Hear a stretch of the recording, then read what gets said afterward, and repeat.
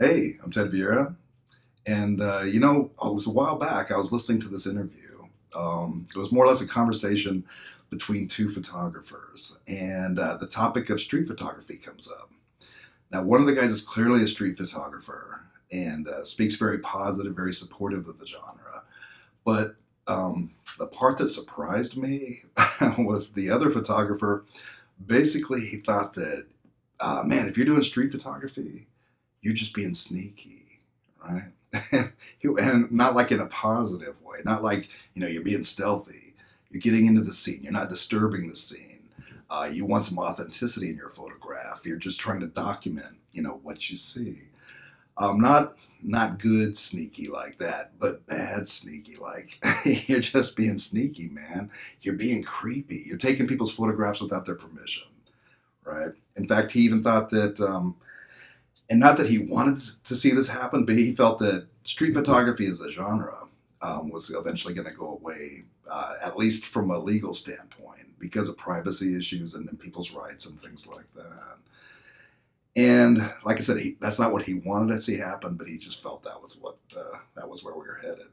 Um, and I don't think that's going to happen, and I really hope that doesn't happen because I think street photography is very important, and um, I'll tell you why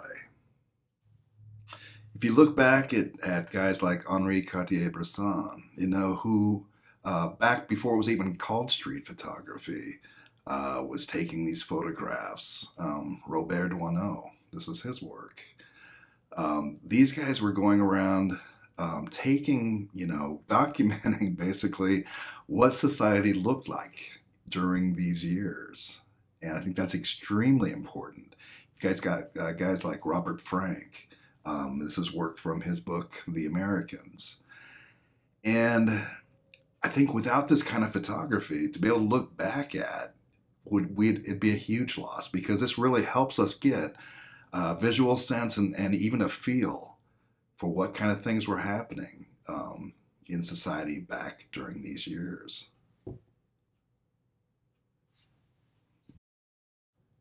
So is street photography creepy or important?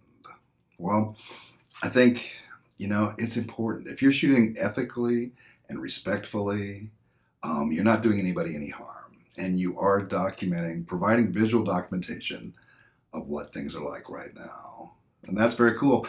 You know, even if your street shot doesn't seem important today, I mean, it might have cool composition or some nice tones, or maybe there's some humor in the story there or something. So it's kind of cool, but maybe it just doesn't seem that important to you today uh, it might be one of those shots that ends up in a book, right? And, and, that people see 50 years from now and look at and go, wow, 2017, man, you know?